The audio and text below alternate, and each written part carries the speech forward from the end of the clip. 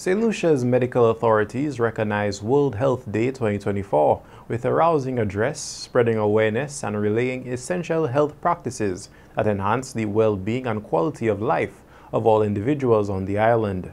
Various officers from the Ministry of Health, ranging from nutrition, dental, and pharmaceutical, unite under the theme of My Health, My Right, acknowledging that every individual deserves access to effective health services educational information, and an environment which promotes healthy living conditions and lifestyles without discrimination. Universal health coverage means that everyone has access to the health care they need when and where they need it without going through financial hardships. It takes into consideration the full gamut of services from promotion, prevention, treatment, rehabilitation, and palliative care. It is your right to access the health services under universal health coverage to improve your health. We have the right to live in an environment that promotes and sustains our health and well-being. This includes access to clean air, safe water and food, as well as land that is free from pollution.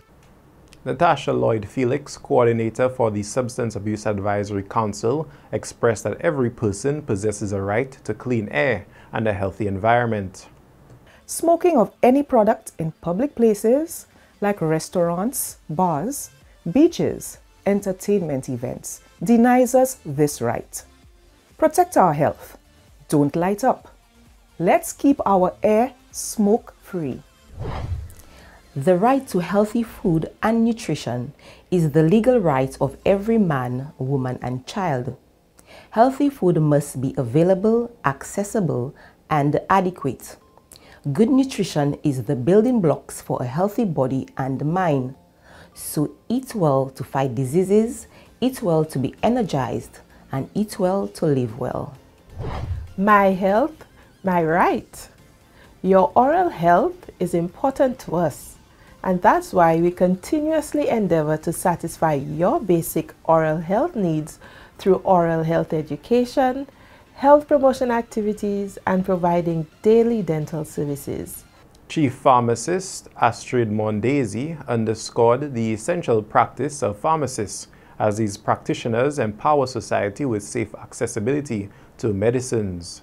As pharmacists, we champion the mantra, my health, my right. It's more than just filling prescriptions for us. It's about empowering individuals to assert their rights in healthcare decisions. Through counseling and education, we ensure you understand your rights to privacy, confidentiality, and access to quality care. We advocate for affordable medication options and equitable access to medications, bridging gaps in affordability.